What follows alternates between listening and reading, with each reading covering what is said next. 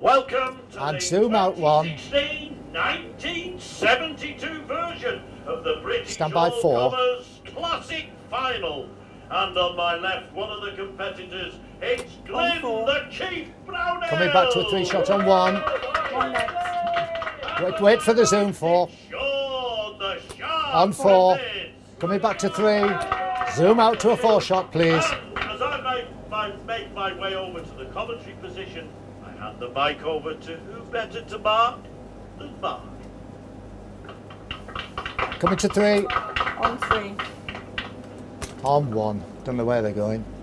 Stand by. Stand by three. On three. Stand by four. Okay, ladies and gentlemen, it's the first leg. Sean Griffiths to throw first. For the best of order, please. Game on. Five. On four. Th- on three. On three. Coming to four.